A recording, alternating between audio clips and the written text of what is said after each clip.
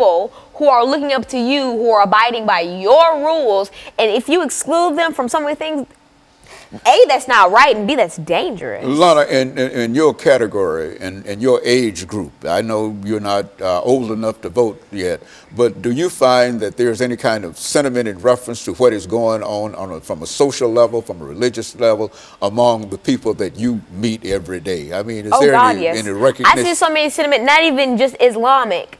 I've I see so much sentiment towards me going to school, from my peers because I was blessed with a brain and I've put my brain to use. So I'm in a lot of extracurricular activities that are academic based. So I've been called things like, um, oh no, I've been told things like, uh, I don't want to be black because uh, all I do is hang around white kids and uh, I'm so white and things like that. But the last time I checked, I don't look that so, white. So, so you think that uh, in, in, a real sense that there's quite a bit of uh, really racism in a real sense it's among yeah. uh, people of your age, and uh, what are you doing to try to uh, change that uh, in order to make the world that we live in a better world? What, what are you doing, and what do you find that some of your peers can do?